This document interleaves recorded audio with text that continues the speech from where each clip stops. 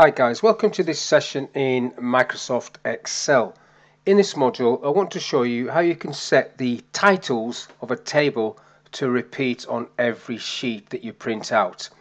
I'll also look at how you can use print areas to, to print just a small part of a spreadsheet as opposed to the whole thing and how titles will still appear on the print area part.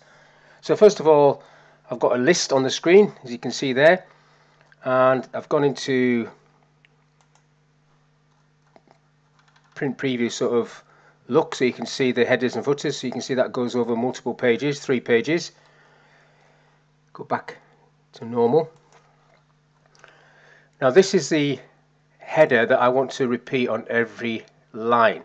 Now if I go control P to get into print preview as I go through these you see it's not on that sheet there at all it's not on that sheet either but I want it to appear there. So if I go into page setup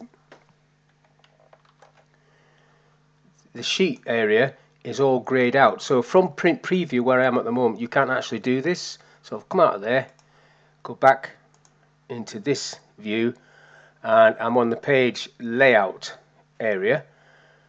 And there you've got print titles. It's going to take me back to the same place I just was but you can see now that these are clear, ready for me to select something. So this is what I want. You've got rows to repeat at the top, or I could do columns to repeat at the left, which I, I don't really want.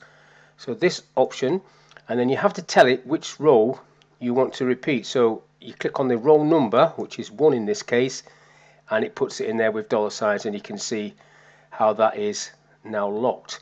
So if I click OK, or if I go straight to print preview from here, what you get there is on every page you have the title. So that's the second page that's the third page. So that is going to repeat on every printed page. So if I go back now print area is also in the page layout area tab and you've got print area set here. So even though I select a print area that hasn't got the headers so I'll select that as a print area set print area. So that hasn't got the headers but when I go control P for print it still picks up the headers. Now I want this to sit in the middle of the screen so what I'm going to do is I'm going to go into page setup again and when I go into margins you've got this option at the bottom center on page horizontal and vertical. Okay to that and then that will always sit in there. If I go back clear print area clear print area and then pick another one a different one. Say I want that as the print area. So print area set print area control P for print. It still sits in the middle and it's got the titles on the top. And if I had more than one page they would appear on every page. You've got the header and the footer there as well so that's just a very quick video of how you can get a row title or a column title to appear on every printed page and how you can utilize that with print area. I'll just clear this print area so I've got no print area set up.